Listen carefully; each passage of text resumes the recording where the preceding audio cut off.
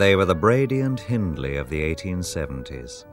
Young people with all the promise of life before them, whose cruelty and wickedness seemed utterly unbelievable.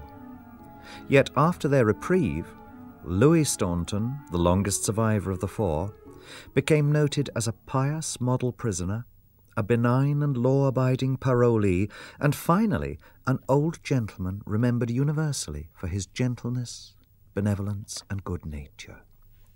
So, what happened to make them the national villains of 1877?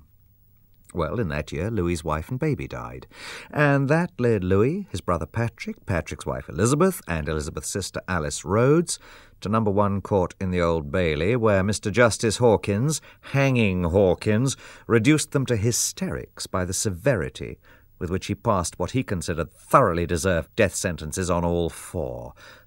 Let's go back to 1872. In that year, Louis was 21 years old, an auctioneer's clerk working in Streatham. He was a yuppie, a hundred years before the word had been coined. He intended to be a rich auctioneer and estate agent himself one day. He lodged with his parents in Cold Harbour Lane, Brixton. South London was the setting for most of the Staunton saga. Brother Patrick was one year younger. Louis always called him Bay, a shortening of Baby, which was Patrick's nickname in the family. The two brothers were very close and relied on each other's advice in various ways. By the time he was 17, Patrick had sold a few paintings and drawings through Joseph Poole, art dealer of Pall Mall, and with Mr. Poole's encouragement decided to enter the financially risky service of the Muse. Four years later, it seemed that painting and sketching would not on their own provide a living, and Patrick earned a little more, helping his father in the wine trade. Through this business, he made the acquaintance of a middle aged customs officer from Walworth called Thomas Hinksman. The Staunton boys paid repeated visits to Mr. Hinksman, more because of his lodgers, one feels, than because of the exciseman's own charms. A widowed lady, Mrs. Rhodes, lodged in Mr. Hinksman's house with her three daughters 23 year old Elizabeth, 15 year old Alice, and 13 year old May an attachment sprang up between Elizabeth Rhodes and Patrick Staunton.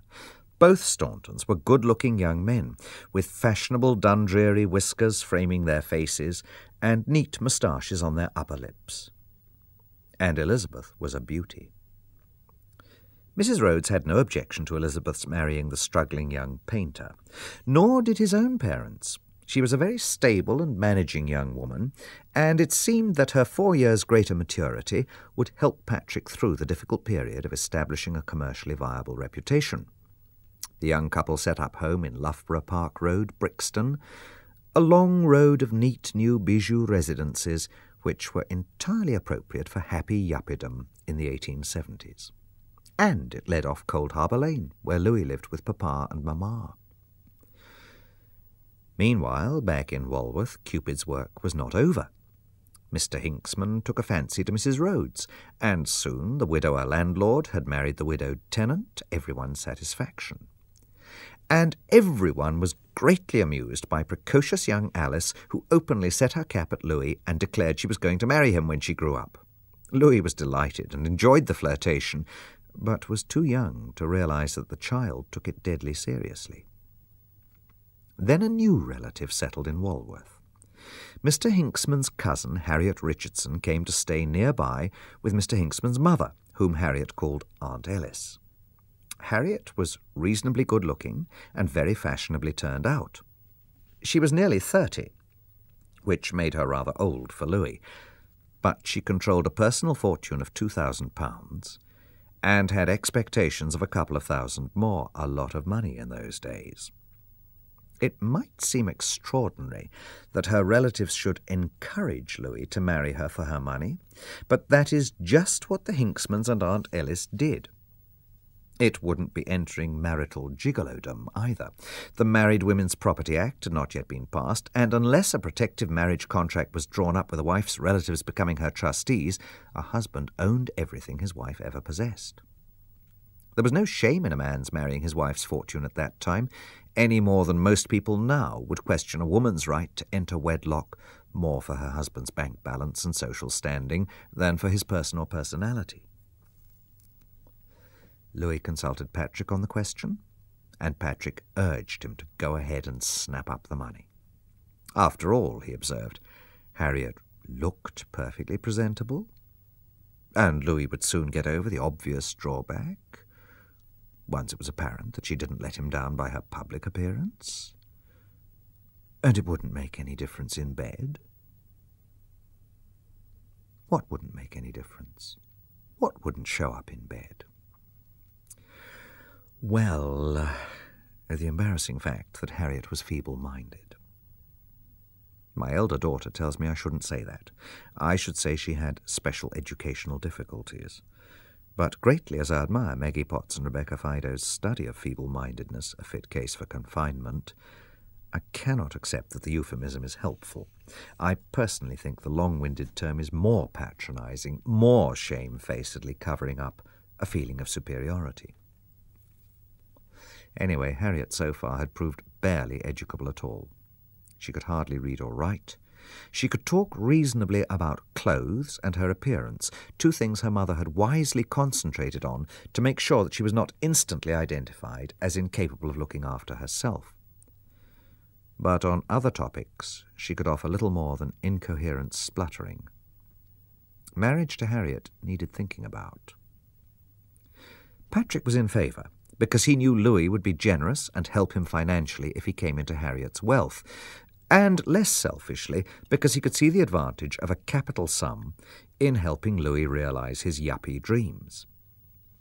The Hinksmans and Aunt Ellis were in favour because they knew and liked Louis as a thoroughly decent young man, and they couldn't envisage Harriet having a better chance of security.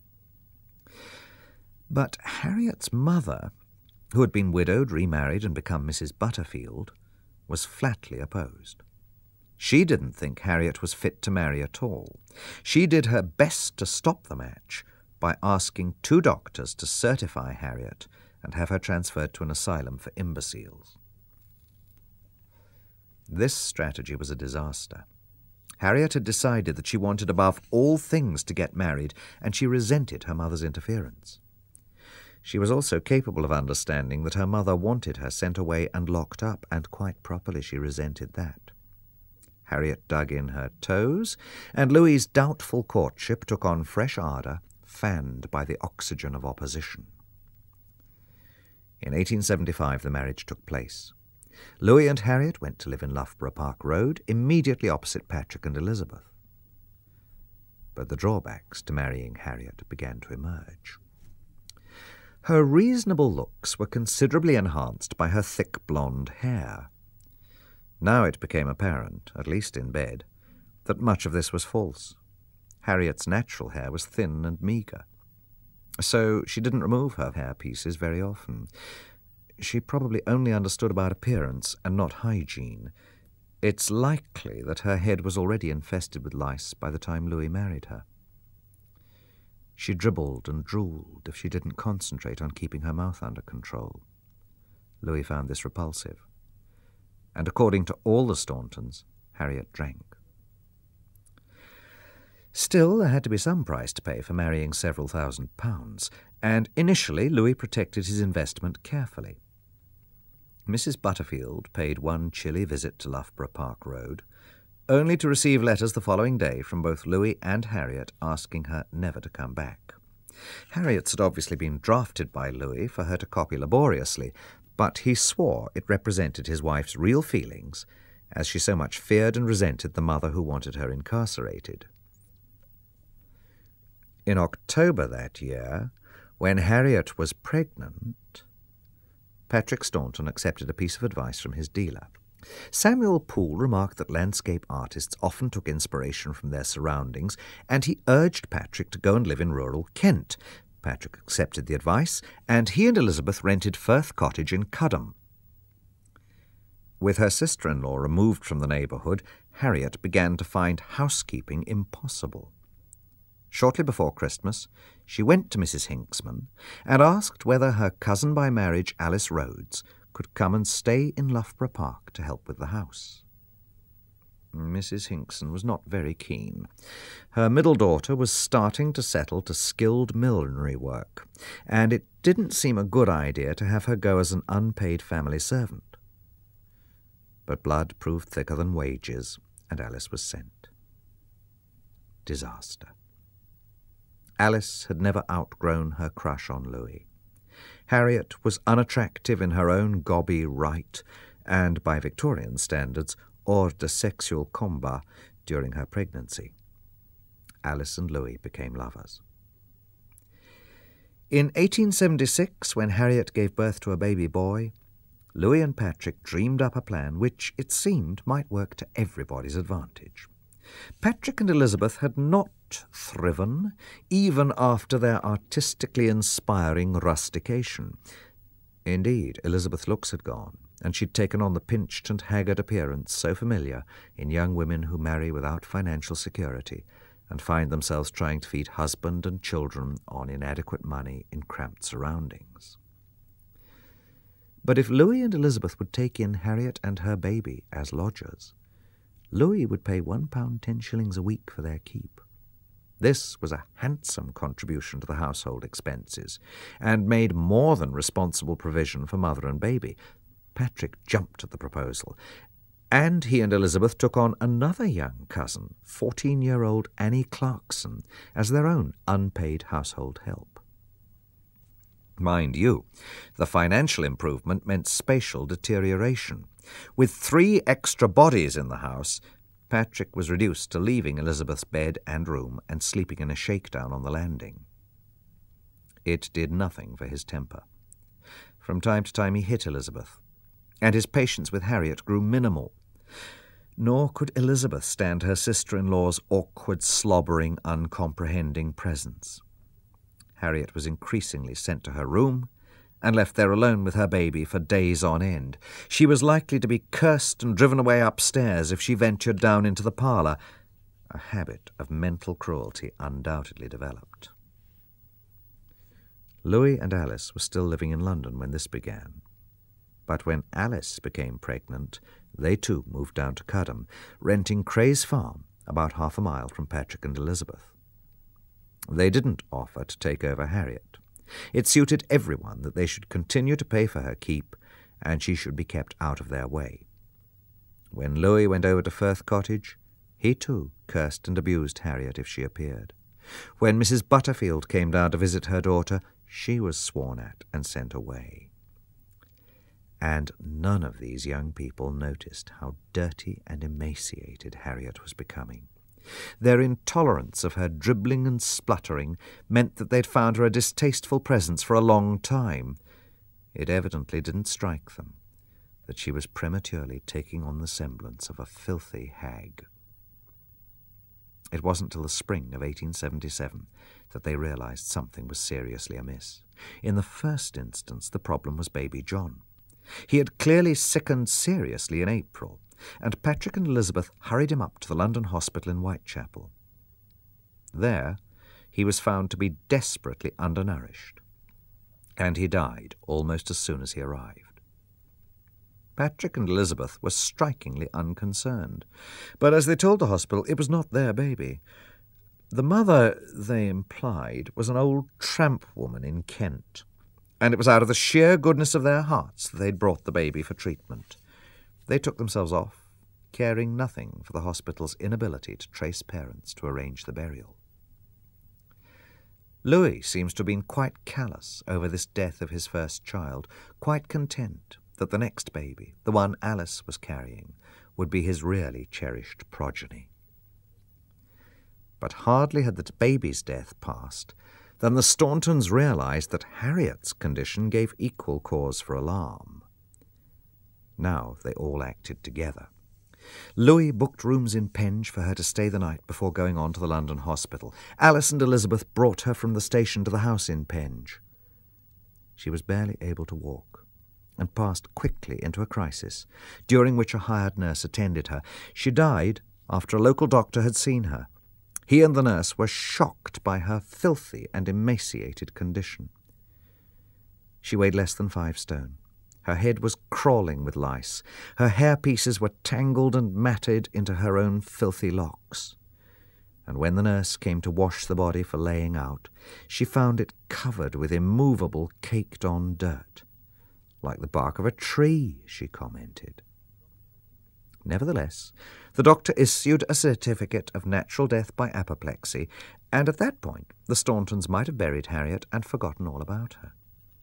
An extraordinary accident prevented this. The road in Penge where Harriet died was itself the boundary between Kent and Surrey. Patrick therefore went into a local chemist's shop to ask which authority he should register the death with. He explained that the lady who had died came from Cudham in Kent, and this conversation was accidentally overheard by Mr. Louis de Casabianca, who happened to have gone into the chemist's to make some purchases. But Mr. Casabianca, unknown to Patrick Staunton, happened to be Mrs. Butterfield's brother-in-law. He knew that Mrs. Butterfield had been deeply worried about her daughter in Cudham. He made inquiries, and soon Mrs. Butterfield and her friends were demanding that Harriet's death be carefully examined. Now, Louis Staunton might have overridden his mother in law's protests and proceeded to get Harriet underground as fast as possible. A perfectly valid death certificate had been issued, and it is very doubtful whether Mrs. Butterfield could have obtained an exhumation order. Louis's reaction to hearing of the inquiries smacks of total innocence. If there's any question about it, let the burial be postponed, he said. And so an inquest was held on Harriet Staunton. The local practitioner, who had originally thought Harriet died of apoplexy, now changed his mind. He read everything he could about malnutrition and came to the conclusion that Harriet had starved to death. In the autopsy, he came across a small growth in the brain, but he took it to be tubercular in origin and felt it had not contributed anything to Harriet's final condition.